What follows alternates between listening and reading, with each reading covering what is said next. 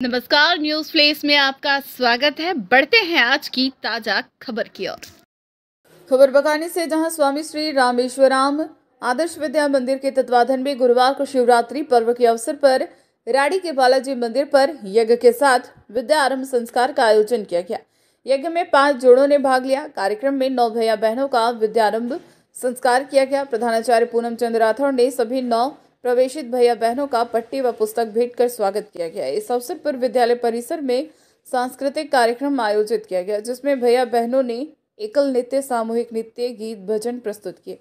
इस अवसर पर शिशु वाटिका प्रभारी जगदीश शर्मा, दिलीप शर्मा, विष्णु कारपेंटर सीताराम सेन, रमेश प्रजापति, जयराम लोधा, ललित माली, हेमराज माली, पवन माली, मीना पारेता सहित अन्य स्टाफ व अभिभावक गण उपस्थित हैं।